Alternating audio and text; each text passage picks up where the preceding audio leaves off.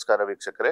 ನಾನು doctor Sachin Nayak Sujir K M C ಮಣಿಪಾಲದ emergency ವಿಭಾಗದಲ್ಲಿ associate professor ಆಗಿ ಕೆಲಸ ಮಾಡ್ತಿದ್ದೇನೆ. ಹಾಗೂ ಸೆಂಟರ್ ಆಫ್ ಎಮರ್ಜೆನ್ಸಿ ಟಾಕ್ಸಿಕಾಲಜಿಯ ಕೋಆರ್ಡಿನೇಟರ್ ಆಗಿಯೂ ಕೂಡ ಇದ್ದೇನೆ. ನಾನು ಇವತ್ತು ನಿಮ್ಮ ಹತ್ರ ಮಾತನಾಡಲು ಬಯಸುತ್ತಿರುವ ವಿಷಯ ಏನಂತಂದ್ರೆ ಸಮುದಾಯದಲ್ಲಿ ವಿಷಪಾನ, ಇದರ ತಡೆ ಮತ್ತು ಜಾಗೃತಿ ಹಾಗೂ ಮುನ್ನೆಚ್ಚರಿಕೆ ಕ್ರಮಗಳು. ಸೊ ವಿಷಪಾನ ಅಂದ್ರೆ ಏನು ಪಾಯ್ಸನಿಂಗ್ ಅಂತ ಹೇಳ್ತೀವಿ. ಸೊ ವಿಷಪಾನ ಅಂದ್ರೆ ಯಾವುದಾದ್ರೂ ವಿಷಕರವಾದ ವಸ್ತುವನ್ನು ಇಚ್ಛೆಯಿಂದ ಅಥವಾ ಅನಿರೀಕ್ಷಿತವಾಗಿ ಸೇವಿಸುವುದು ಅಥವಾ ಉಸಿರಾಟದಲ್ಲಿ ಅಥವಾ ಚರ್ಮದ ಮೂಲಕ ಇಲ್ಲ, ಕಣ್ಣಿನ ಮೂಲಕ ದೇಹದೊಳಗೆ ಸೇರಿಕೊಂಡು ದೇಹಕ್ಕೆ ಹಾನಿ ಉಂಟು ಮಾಡುವುದು. ವಿಷಗಳಲ್ಲಿ ಯಾವ ಯಾವ ತರ ಇರುತ್ತದೆ ಸೊ ಸಾಮಾನ್ಯವಾಗಿ ಯಾವುದೇ ವಸ್ತುವನ್ನು ಜಾಸ್ತಿ ಅಧಿಕ ಮಾತ್ರೆಯಲ್ಲಿ ತಗೊಂಡ್ರೆ ಯಾವುದೇ ವಸ್ತು ವಿಷ ಆಗುತ್ತದೆ. ನಾವು ಹೇಳ್ತೀವಿ, ಒಂದು ಗಾದೆ ಇದೆ. ಅತಿಯಾದರೆ ಅಮೃತವು ವಿಷ.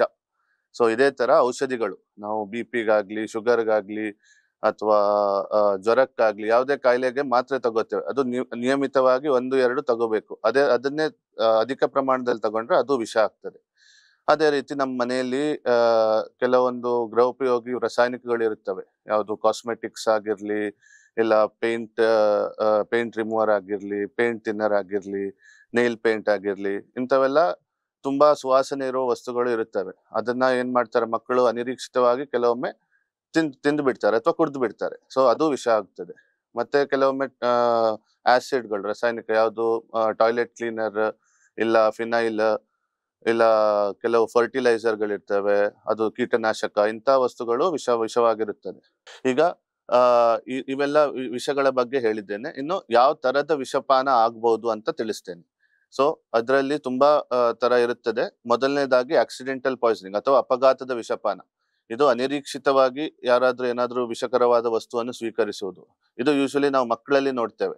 ಮಕ್ಕಳು ಕೆಲವೊಮ್ಮೆ ಈಗ ಮನೆಯಲ್ಲಿ ಯಾರಿಗಾದ್ರೂ ಒಂದು ಟ್ಯಾಬ್ಲೆಟ್ ಇರ್ತದೆ ಅಥವಾ ಜ್ವರಕ್ಕಾಗಿ ನಾವೇ ಟ್ಯಾಬ್ಲೆಟ್ ತಗೊಂಡ್ ಬರ್ದಿದ್ ಬಂದಿರ್ತೀವಿ.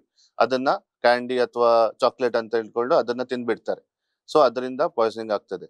ಸೊ, ಅದೇ ತರ ಸಾಕು ಪ್ರಾಣಿಗಳು ಇವು ಇವು ಇವು ಮನೆಯಲ್ಲಿ ಓಡಾಡ್ತಿರ್ತವೆ. ಅವುಗಳಿಗೆ ಅದು ಏನಾದ್ರು ಇಂಥ ವಸ್ತುಗಳು ಸುವಾಸನೆ ಇರೋ ವಸ್ತುಗಳನ್ನು ನೋಡಿ ಅದನ್ನ ತಿಂದ್ಬಿಡ್ತಾರೆ ಅಥವಾ ಕುಡ್ದು ಬಿಡ್ತಾರೆ ಸೊ, ಇದರಿಂದ ಪಾಯ್ಸನಿಂಗ್ ಆಗ್ತದೆ. ಹಾಗೆ ಹಿರಿಯ ನಾಗರಿಕರು. ಅವರಿಗೆ ಯೂಶಲಿ ಆಗಿ ಯೂಶಲ್ ಆಗಿ ಬಿ ಪಿ ಶುಗರ್ ಹಾರ್ಟಿನ ತೊಂದರೆ ಇದಕ್ಕಾಗಿ ಮಾತ್ರೆಗಳಿರ್ತವೆ. ಸೊ ಅದನ್ನ ನಿಯಮ, ಒಂದು, ಎರಡು ಆ ಥರ ದಿನಕ್ಕೆ ತಗೋಬೇಕು. ಅದನ್ನ ಕೆಲವೊಮ್ಮೆ, ಇಲ್ಲ ಮರುವಿನಿಂದಾಗ್ಲಿ, ಇಲ್ಲ ಬೇರೆ ಏನೋ ರೀಸನ್ಗಾಗ್ಲಿ ಜಾಸ್ತಿ ಪ್ರಮಾಣದಲ್ಲಿ ಸ್ವೀಕರಿಸ್ತಾರೆ. ಸೊ ಇದರಿಂದನೂ ಪಾಯ್ಸನಿಂಗ್ ಆಗ್ತದೆ. ಇದು ಆಕ್ಸಿಡೆಂಟಲ್ ಪಾಯ್ಸನಿಂಗ್ ಅನಿರೀಕ್ಷಿತವಾಗಿ ಆಗುವುದು. ಎರಡನೇದಾಗಿ ಆತ್ಮಹತ್ಯಾ ವಿಷಪಾನ, ಅಂದ್ರೆ ಸುಸೈಡಲ್ ಪಾಯ್ಸನಿಂಗ್ ಸೆಲ್ಫ್ ಹಾರ್ಮ್ ಇದು ಇದರಲ್ಲೂ ಎರಡು ಎರಡು ತರ ಇರ್ತದೆ. ಒಂದು ಸಡನ್ ಆಗಿ ಏನಾದ್ರೂ ಸಿಟ್ಟು ಬಂದು ಅಥವಾ ಜಗಳವಾಗಿ ಅಥವಾ ವೈಯಕ್ತಿಕವಾಗಿ ಕೆಲಸದಲ್ಲಿ ಏನಾದ್ರೂ ತೊಂದರೆ ಆಗಿ ಇಲ್ಲ ಫೈನಾನ್ಷಿಯಲ್ ಲಾಸ್ ಆಗಿ ಈ ತರ ಹಲವಾರು ರೀಸನ್ ಇಂದ ಸಡನ್ ಆಗಿ ಒಂದು ಯಾವ್ದಾದ್ರು ವಿಷಕರವಾದ ಆಹಾರ ಸೇವನೆ ಮಾಡಿ ಆತ್ಮಹತ್ಯೆ ಮಾಡುವುದು. ಇನ್ನೊಂದು ಮಾನಸಿಕ ರೋಗದಿಂದ ಬಳಲುತ್ತಿರುವವರು ಕೆಲವೊಮ್ಮೆ, ಆ, ನೊಂದು ಏನು ದಾರಿ ಕಾಣದೆ. ಕೆಲವೊಮ್ಮೆ ಏನಾದ್ರೂ ವಿಷವನ್ನು ತಗೊಂಡ್ಕೊಳ್, ತೆಗೆದುಕೊಳ್ತಾರೆ. ಸೊ, ಇದು ಎರಡನೇ ಭಾಗ.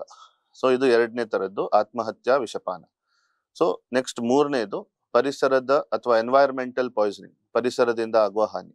ಇದು ನೀರು ಅಥವಾ ಗಾಳಿಯಲ್ಲಿ ಏನಾದರೂ ಏನಾದ್ರೂ ವಿಷ ಸೇರ್ಬಿಟ್ಟು ಅದರಿಂದ ಆಗುವ ಪಾಯ್ಸನಿಂಗ್ ಸೊ, ಇದು ಯೂಶಲಿ ನಾವು ಬಾವಿಯಲ್ಲಿ ಏನಾದ್ರೂ ಕೀಟನಾಶಕ ಸೇರ್ಕೊಂಡು ಅದನ್ನ ಜನರು ಸೇವಿಸಿದಾಗ ಅದರಿಂದ ಪಾಯ್ಸನಿಂಗ್ ಆಗ್ತದೆ. ಅದೇ ತರ ಕೆರೆಗಳಲ್ಲಿ ಏನಾದ್ರೂ ವಿಷಭರಿತ ಹೆವಿ ಮೆಟಲ್ಸ್ ಆ ತರ ಏನಾದ್ರೂ ಸೇರ್ಕೊಂಡ್ರೆ ಅದರಿಂದ ಅದನ್ನ ಜನ ಕುಡಿದಾಗ ಅದರಿಂದ ಆಗುವ ಪಾಯ್ಸನಿಂಗ್ ಮತ್ತೆ ಗಾಳಿಯಲ್ಲೂ ಕೂಡ ಈಗ ಕೀಟನಾಶಕನ ಯೂಶುವಲಿ ಹೊಲ ಗದ್ದೆಗಳಲ್ಲೆಲ್ಲ ಕೆಲವೊಮ್ಮೆ ನಾವು ಕೀಟನಾಶಕ ಸಿಡಿಸ್ತೇವೆ. ಅದರಿಂದ ಪಾಯ್ಸನಿಂಗ್ ಆಗೋ ಚಾನ್ಸಸ್ ಇರುತ್ತದೆ.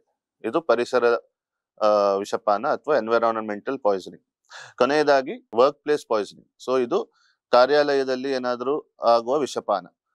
ಇದು ಫ್ಯಾಕ್ಟರಿಗಳಲ್ಲಿ ಅಥವಾ ಲ್ಯಾಬೊರೇಟರಿಯಲ್ಲಿ ಇರುವ ರಾಸಾಯನಿಕಗಳು ಕೆಲವೊಮ್ಮೆ ಏನೋ ಅಪಘಾತವಾಗ್ಬಿಟ್ಟು ಗಾಳಿಯೊಳಗೆ ಸೇರ್ಕೊಂಡ್ರೆ ಇದರಿಂದ ಉಸಿರಾಡ್ಲಿ, ಇದನ್ನ ಈ ಗಾಳಿಯನ್ನ ಉಸಿರಾಡಿ ಅಥವಾ ಚರ್ಮದ ಮೂಲಕವೋ ಅಥವಾ ಕಣ್ಣಿನ ಮೂಲಕವೋ ಇದು ದೇಹದೊಳಗೆ ಹೋಗ್ಬಿಟ್ಟು ಹಾನಿ ಆಗೋ ಚಾನ್ಸಸ್ ಇರುತ್ತದೆ. ಸೊ, ಇದು ವರ್ಕ್ ಪ್ಲೇಸ್ ಪಾಯ್ಸನಿಂಗ್ ಅಥವಾ ಕಾರ್ಯ ಕಾರ್ಯಸ್ಥಳದಲ್ಲಿ ವಿಷಪಾನ. ವೀಕ್ಷಕರೇ, ನಾನು ಇಲ್ಲಿವರೆಗೆ ಬೇರೆ ಬೇರೆ ತರದ ಪಾಯ್ಸನಿಂಗ್ ಅಥವಾ ವಿಷಪಾನದ ಬಗ್ಗೆ ತಿಳಿಸಿದ್ದೇನೆ. ಇನ್ನು ಇದರ, ಇದನ್ನು ಹೇಗೆ ತಡೆಗಟ್ಟಬಹುದು, ಇದನ್ನ ಯಾವ ರೀತಿಯಲ್ಲಿ ಪ್ರಿವೆಂಟ್ ಮಾಡಬಹುದು ಅಂತ ಹೇಳ್ಕೊಡ್ತೇನೆ. ಓಕೆ ಸೊ ಮೇನ್ ಆಗಿ ಮೊದಲನೇದಾಗಿ ಆಕ್ಸಿಡೆಂಟಲ್ ಪಾಯ್ಸನಿಂಗ್ ಇದನ್ನ ಹೇಗೆ ತಡೆಗಟ್ಟಬಹುದು. ಈಗ ನೀವು, ನಾವು ನೋಡ್ತೀವಿ, ನಾವು ಯೂಶಲಿ ಏನಾದ್ರು ಟ್ಯಾಬ್ಲೆಟ್ ತಗೊಳ್ಳೋದು ಅಂತಂದ್ರೆ ಅದನ್ನ ಬೆಡ್ ಸೈಡ್ ಅಲ್ಲೇ ಅಥವಾ ಎಲ್ಲೋ, ಎಲ್ಲೆಲ್ಲೂ ಇಟ್ಬಿಟ್ಟು ಇಟ್ಬಿಟ್ಟು ಹೋಗ್ತೇವೆ. ಸೊ ಇದನ್ನ ಮಾಡಬಾರ್ದು. ಟ್ಯಾಬ್ಲೆಟ್ ಎಲ್ಲ ಏನಿದೆ, ಈಗ ಈಗ ನಿಮ್ಗೆ ದಿನ ತಗೊಳ್ಳೋ ಟ್ಯಾಬ್ಲೆಟ್ ಆಗಿರ್ಲಿ, ಯಾವುದೋ ಕಾಯಿಲೆ, ಕಾಯಿಲೆಗಾಗಿ ತಗೊಳ್ಳೋ ಟ್ಯಾಬ್ಲೆಟ್ ಆಗಿರ್ಲಿ, ಅದನ್ನ ಯಾವತ್ತು, ಆ, ಕಪಾಟಿನ ಒಳಗೆ ಅಥವಾ ಡೆಸ್ಕ್ ಡ್ರವರ್ ಒಳಗಡೆ ಬೀಗ ಹಾಕ್ಬಿಟ್ಟು ಮಕ್ಕಳಿಗೆ ಸಿಗದಂತೆ ಮಾಡಬೇಕು. ಅದೇ ರೀತಿ ಮನೆಯಲ್ಲಿ ಇರುವ ಕೆಲವು ಟಾಯ್ಲೆಟ್ ಕ್ಲೀನರ್ ಆಗ್ಲಿ ಫಿನೈಲ್ ಆಗ್ಲಿ ಇಂಥ ಟರ್ಪೆಂಟೈನ್ ಆಗ್ಲಿ ಪೇಂಟ್ ಆಗ್ಲಿ, ಇಂಥ ವಸ್ತುಗಳನ್ನು ಯಾವತ್ತು ಒಂದು ಮೂಲೆ ಜಾಗದಲ್ಲಿ ಇಡಬೇಕು ಹಾಗೂ ಮಕ್ಕಳಿಗೆ ಇದರ ದುಷ್ಪರಿಣಾಮದ ಬಗ್ಗೆ ತಿಳಿಸಬೇಕು. ಅವರು ಅದನ್ನ ಕುಡಿಯದಂತೆ ತಡೆಯಬೇಕು. ಮತ್ತೊಂದು, ಹಿರಿಯ ನಾಗರಿಕರಿಗೆ ದಿನದಲ್ಲಿ ಒಂದೆರಡು, ಆ, ಮಾತ್ರೆಗಳಿರ್ತದೆ. ಅದನ್ನ ನೀವೇ ಅವರಿಗೆ ಕೊಡತಕ್ಕದ್ದು. ಅದನ್ನ ಅವರಿಗೆ ತಗೊಳ್ ತಗೊಳ್ಳಿಕ್ಕೆ ಬಿಡಬಾರದು. ಈಗ, ಆ, ಆತ್ಮಹತ್ಯೆ ವಿಷಪಾನದನ್ನು ಹೇಗೆ ತಡಿಬೇಕು ಅಂತ ಹೇಳ್ತೇನೆ. ಅದು, ಇದು ಒಂದು ಬಹಳ ಸೂಕ್ಷ್ಮವಾದ ವಿಷಯ. ಸೊ ಮೊದಲನೇದಾಗಿ ಈಗ ಏನಾದ್ರೂ ಜಗಳವಾಗಿ ಅಥವಾ ಸಡನ್ ಆಗಿ ಡಿಸಿಷನ್ ತಗೊಂಡು ಆತ್ಮಹತ್ಯೆ ಮಾಡಿದ್ರೆ ಅದನ್ನ ತಡಿಲಿಕ್ಕೆ ಸ್ವಲ್ಪ ಕಷ್ಟ ಆಗಿರುತ್ತದೆ. ಆದರೆ ಮಾನಸಿಕ ಕಾಯಿಲೆಯಿಂದ ಬಳಲುತ್ತಿರುವವರು ಇದು, ಇದಕ್ಕೆ ಪರಿಹಾರ ಇದೆ. ಈಗ ಮಾನಸಿಕ ತೊಂದರೆ, ಆದ್ರೆ ಮಾನಸಿಕ ತೊಂದರೆಗೆ ಪರಿಹಾರ ಇದೆ. ಈಗ ಕೆಲವರಿಗೆ ಕುಟುಂಬದಿಂದ ಸಹಾಯ ಸೂಕ್ತವಾಗಿರೋದಿಲ್ಲ ಅಥವಾ ಬೆಂಬಲ ಪೂರ್ತಿ ಸಿಗಲ್, ಸಿಗಲಿಲ್ಲ ಅಂತಂದ್ರೆ ಅದಕ್ಕೆ ಬೇರೆ ತರದ ಚಿಕಿತ್ಸೆ ಕೂಡ ಇದೆ. ಅವರಿಗೆ ಥೆರಪಿ ಆಗಿರ್ಲಿ ಥೆರಪಿಸ್ಟ್ ಇಂದ ಕೌನ್ಸಿಲಿಂಗ್ ಅಂತ ಹೇಳ್ತೀವಿ ಅಥವಾ ಸೈಕ್ಯಾಟ್ರಿಸ್ಟ್, ಮನೋ ಮನೋವೈದ್ಯರ ಸಲಹೆ ಇದು ತುಂಬಾ ಸೂಕ್ತವಾಗಿರುತ್ತದೆ. ಆದರೆ ಇದಕ್ಕೆ ಮುಖ್ಯವಾಗಿ ಸಮಾಜದಲ್ಲಿ ಮಾನಸಿಕ ರೋಗದ ಬಗ್ಗೆ ತಿಳುವಳಿಕೆ ಹಾಗೂ ಜಾಗೃತಿ ಮೂಡಿಸಬೇಕು. ಸೊ ಯಾವುದಾದ್ರೂ ಕ್ಯಾಂಪ್ಗಳಾಗ್ಲಿ ಇಲ್ಲ ಶಿಬಿರಗಳಾಗ್ಲಿ, ಕಾರ್ಯಕ್ರಮ, ಸಾಮಾಜಿಕ ಮಾನಸಿಕ ರೋಗದ ಬಗ್ಗೆ ಕಾರ್ಯಕ್ರಮಗಳನ್ನು ಆಯೋಜಿಸತಕ್ಕದ್ದು. ಸೊ ಅದೇ ತರ ಈಗ ಈಗ ಎಲ್ಲರೂ ಯೂಸ್ ಮಾಡಿ, ಇದೇ ತರ ಯೂಟ್ಯೂಬ್ ವಿಡಿಯೋಗಳ ಮೂಲಕ ಹಾಗೂ ಅಂತರ್ಜಾಲದ ಮೂಲಕ ಮಾನಸಿಕ ರೋಗದ ಬಗ್ಗೆ ಇನ್ನೂ ಹೆಚ್ಚಿನ ಮಾಹಿತಿ ಪಡೆಯತಕ್ಕದ್ದು. ಆ, ಮಾನಸಿಕ ರೋಗ ಒಂದು ನಿಷಿದ್ಧ ವಿಷಯ. ಆದರೆ ಈಗ ನಮ್ಗೆ ಕಾಯಿಲೆ ಏನಾದ್ರು ಜ್ವರ ಬಂತು ಅಂತಂದ್ರೆ ನಾವು ಅದಕ್ಕೆ ಡಾಕ್ಟರ್ ಹತ್ರ ಹೋಗಿ ಟ್ಯಾಬ್ಲೆಟ್ ತಗೋತೀವಿ. ಅದೇ ತರ ಮಾನಸಿಕ ರೋಗ ಕೂಡ ಒಂದು ಕಾಯಿಲೆ. ಅದೇ ತರ ಡಾಕ್ಟರ್ ಹತ್ರ ಹೋಗಿ ಅದಕ್ಕೂ ಮದ್ದು ತಗೊಂಡು ಅಥವಾ ಚಿಕಿತ್ಸೆ ಪಡೆಯಬಹುದು. ಪ್ರಿಯ ವೀಕ್ಷಕರೇ, ನಾನು ಇಲ್ಲಿಯವರೆಗೆ ಹೇಗೆ ವಿಷಪಾನವನ್ನು ತಡೆಯಬಹುದು ಅಂತ ಹೇಳಿಕೊಟ್ಟಿದ್ದೇನೆ. ಇನ್ನು ಈಗ ವಿಷಪಾನ ಆಗಿದೆ. ಈಗ ಯಾರಾದ್ರೂ ಪಾಯ್ಸನ್ ತಗೊಂಡಿದ್ದಾರೆ. ಸೊ ಅದು ಪಾಯ್ಸನ್ ತಗೊಂಡ ಮೇಲೆ ಏನು ಮಾಡಬೇಕು ಹಾಗೂ ಏನು ಮಾಡಬಾರ್ದು ಅನ್ನೋ ಬಗ್ಗೆ ಅನ್ನೋದರ ಬಗ್ಗೆ ಹೇಳ್ತೇನೆ. ಈಗ ವಿಷಪಾನ ಆದ ಮೇಲೆ ಯಾವ ಲಕ್ಷಣಗಳು ಕಾಣಿಸ್ಕೊಳ್ತವೆ? ಮನುಷ್ಯ ಜನರಲಿ ಜನರಲಿ ವ್ಯಕ್ತಿಯೊಬ್ಬ ಏನಾದ್ರೂ ವಿಷಪಾನ ಮಾಡಿದ್ರೆ ಏನಾಗ್ತದೆ? ಸೊ ನಾವು ಸಿನಿಮಾ ಮೂವಿಗಳಲ್ಲೆಲ್ಲ ನೋಡಿರ್ತೀವಿ. ಸಡನ್ ಆಗಿ ಏನೋ ವಿಷ ತಗೋತಾರೆ, ಅಲ್ಲೇ ಬಿದ್ಬಿಟ್ಟು ಸತ್ತು ಹೋಗ್ತಾರೆ ಸೊ ಇದೆಲ್ಲ ಜಸ್ಟ್ ಫಿಲ್ಮ್ ಅಲ್ಲಿ ಆಗೋದಂಥದ್ದು ಇದು ಯಾವುದು ನಿಜವಲ್ಲ. ಸೊ ಈಗ ತೆಗ್ದು, ತೆಗೆದುಕೊಂಡ ತಕ್ಷಣ ಯಾವ ಯೂಶುವಲಿ ಆಗಿ ಯಾವುದೇ ವ್ಯಕ್ತಿಗೆ ಏನು ಆಗುದಿಲ್ಲ. ಸೊ ಏನಾಗ್ತದೆ ಅಂತಂದ್ರೆ ಅವರಿಗೆ ಸ್ವಲ್ಪ ಹೊಟ್ಟೆ ನೋವು ಬರ್ಬೋದು. ಇಲ್ಲ ಸ್ವಲ್ಪ ವಾಂತಿ ಆಗ್ಬೋದು, ಇಲ್ಲ ಸ್ವಲ್ಪ ಸ್ವಲ್ಪ ಸುಸ್ತು ಅನಿಸ್ಬೋದು. ಸೊ, ಇನ್ನು ತುಂಬಾ ಟೈಮ್ ಆದ್ರೆ ಕೆಲವು ಆವಾಗ ಉಸಿರಾಟದ ತೊಂದರೆ, ಪ್ರಜ್ಞೆ ಕಡಿಮೆ ಆಗೋದು, ಫಿಟ್ಸ್ ಬರೋದು ಅಥವಾ ಕೊನೆಯದಾಗಿ ಪ್ರಾಣಹಾನಿ ಆಗೋ ಸಂಭವ ಇರುತ್ತದೆ. ಸೊ, ಇವಾಗ ಇಂಥ ಪರಿಸ್ಥಿತಿಯಲ್ಲಿ ಏನ್ ಮಾಡ್ಬೇಕು? ಸೊ, ಮೇನ್ ಈಗ ಒಬ್ಬ ವ್ಯಕ್ತಿ ಏನೋ ವಿಷ ತಗೊಂಡಿದ್ದಾನೆ. ಸೊ, ಅವನ ಕೈಯಲ್ಲಿ ಆ ವಿಷ ಇದೆ ಅಂತ, ಇನ್ನೂ ಇದೆ ಅಂತಂದ್ರೆ ಅದನ್ನ ತೆಗಿ, ತೆಗೆದುಕೊಳ್ಬೇಕು. ಅದೇ ತರ ಏನಾದ್ರು ಕಾರ್ಯಸ್ಥಳದಲ್ಲಿ ಫ್ಯಾಕ್ಟ್ರಿಯಲ್ಲಿ ಏನಾದ್ರು ಆ ತರ ಆಯ್ತು ಅಂತಂದ್ರೆ, ಅವರನ್ನ ಮೊದಲು ಆ ಜಾಗದಿಂದ ತೆಗೆದು ಒಂದು ಸೂಕ್ ಸೇಫ್ ಜಾಗಕ್ಕೆ ಕರ್ಕೊಂಡು ಹೋಗ್ಬೇಕು. ಮತ್ತೆ ಯೂಶಲಿ ಅಲ್ಲಿ ಚರ್ಮದ ಮೂಲಕವೋ, ಕಣ್ಣಿನ ಮೂಲಕವೋ ಏನಾದ್ರು ವಿಷ ಒಳಗೆ ಹೋಗಿದ್ರೆ ಕಣ್ಣಿಗೆ ಹದಿನೈದು ನಿಮಿಷಗಳ ಕಾಲ ನೀರು ಹಾಕಿ ತೊಳಿಬೇಕು. ಹಾಗೂ ಚರ್ಮ ಚರ್ಮ ಕೂಡ ನೀರ್ ಹಾಕಿ ತೊಳಿಬೇಕು ಮತ್ತು ಸರಿಯಾಗಿ ಉಜ್ಜಿ ತೆಗೆಯಬೇಕು. ಇನ್ನೊಂದು ಈಗ ವಿಷ ಸೇವನೆ ಆಗಿದೆ ಅಂತಂದ್ರೆ ಅದನ್ನ ಮೇನ್ ಇಂಪಾರ್ಟೆಂಟ್ ಏನಂತಂದ್ರೆ ಏನ್ ತಗೊಂಡಿದ್ದಾರೆ? ಅದು ಔಷಧಿ ಆಗಿರ್ಲಿ ಅಥವಾ ಕಂಪೌಂಡ್ ಆಗಿರ್ಲಿ, ರಾಸಾಯನಿಕ ಆಗಿರ್ಲಿ, ಏನೇ ಇದ್ರು ಅದನ್ನ ಅದರ ಸ್ಯಾಂಪಲ್ನ ತಗೊಂಡು ಅವರನ್ನು ಸಮೀಪದ ಆಸ್ಪತ್ರೆಗೆ ಕರ್ಕೊಂಡು ಹೋಗ್ಬೇಕು. ಯಾಕಂದ್ರೆ ಆ ಸ್ಯಾಂಪಲ್ನ ಮಾಹಿತಿ ನಮ್ಗೆ ಅಥವಾ ಡಾಕ್ಟರ್ಗಳಿಗೆ ಇದ್ರೆ ಅವರು ಅದನ್ನ ಸರಿಯಾಗಿ ಇನ್ನೂ ಚಿಕಿತ್ಸೆಯನ್ನು ಇನ್ನೂ ಚೆನ್ನಾಗಿ ಕೊಡಬಹುದು. ಸೊ ಇಲ್ಲಿವರೆಗೆ ಏನು ಮಾಡಬೇಕಂತ ಹೇಳಿದ್ದೀನಿ. ಅದೇ ತರ ಇನ್ ಏನು ಮಾಡಬಾರದು ಎಂಬ ಅನ್ನೋದನ್ನ ತಿಳಿದುಕೊಳ್ಳೋಣ. ಸೊ ಮೇನ್ ಆಗಿ ಯೂಶಲಿ ನಾವು ನೋಡಿರ್ತೀವಿ ಅವ್ರಿಗೆ ಏನಾದ್ರು ಉಪ್ಪು ನೀರು ಕೊಟ್ಟು, ಏನಾದ್ರು ಬಾಯಿಗೆ ಕೈ ಹಾಕಿ ವಾಂತಿ ಮಾಡಿಸುವುದು ಇದು ವಾಂತಿ ಮಾಡಿಸುವುದು ತುಂಬಾ ಅಪಾಯಕಾರಿ. ಯಾಕಂತಂದ್ರೆ, ಈಗ ಕೆಲವೊಮ್ಮೆ, ಆ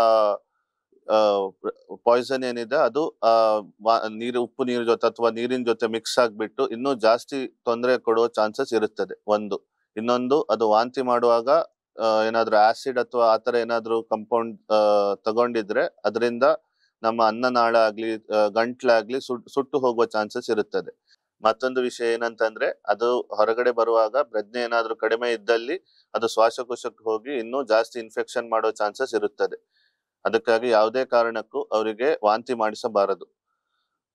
ಇನ್ನೊಂದು ಅವರಿಗೆ ಕೆಲವರು ಹೇಳ್ತಾರೆ ಆಹಾರ ಕೊಡ್ಬೇಕು ಅಥವಾ ನೀರು ಕೊಡ್ಬೇಕು ಅದು ಕರಗಿ ಹೋಗುತ್ತದೆ ಅಂತ. ಸೊ ಇಂಥ ಇದು- ಇವುಗಳನ್ನು ಯಾವುದನ್ನು ಮಾಡಬಾರದು. ಮತ್ತೊಂದು ಮಾತು ಏನಂದ್ರೆ, ಈಗ ಯಾವುದೇ ಕಾರಣಕ್ಕಾಗಿ ಜಗಳ ಜಗಳ ಆಗಿ ಅಥವಾ ಮನಸ್ತಾಪದಿಂದ ಟ್ಯಾಬ್ ಪಾಯ್ಸನ್ ತಗೊಂಡ್ರೆ ಅವರಿಗೆ ಹೊಡೆಯುವುದು ಅಥವಾ ಬೈಯುವುದು ಇಂಥ ಇಂಥ ಇಂಥ ಕೆಲಸಗಳನ್ನು, ಕಾರ್ಯಗಳನ್ನು ಮಾಡಬಾರದು. ಅವರಿಗೆ ಸಮಾಧಾನ ಪಡಿಸಿ ಆದಷ್ಟು ಬೇಗ ಸಮೀಪದ ಆಸ್ಪತ್ರೆಗೆ ಕರ್ಕೊಂಡು ಹೋಗ್ಬೇಕು. ಪ್ರಿಯ ವೀಕ್ಷಕರೇ ಇಲ್ಲಿಯವರೆಗೆ ನಾನು ನಿಮ್ಗೆ ವಿಷಪಾನದ ಬಗ್ಗೆ ಸಮುದಾಯದಲ್ಲಿ ಹೇಗೆ ತಡಿಬಹುದು ಮತ್ತು ಜಾಗೃತಿ ಮುನ್ನೆಚ್ಚರಿಕೆ ಕ್ರಮಗಳ ಬಗ್ಗೆ ತಿಳಿಸಿದ್ದೇನೆ. ಹೆಚ್ಚಿನ ಜಾಗೃತಿ, ಎಚ್ಚರಿಕೆ ಹಾಗೂ ಸರಿಯಾದ ಕ್ರಮಗಳ ಮೂಲಕ ವಿಷಪಾನದ ಅಪಾಯವನ್ನು ತಡೆಯಬಹುದು.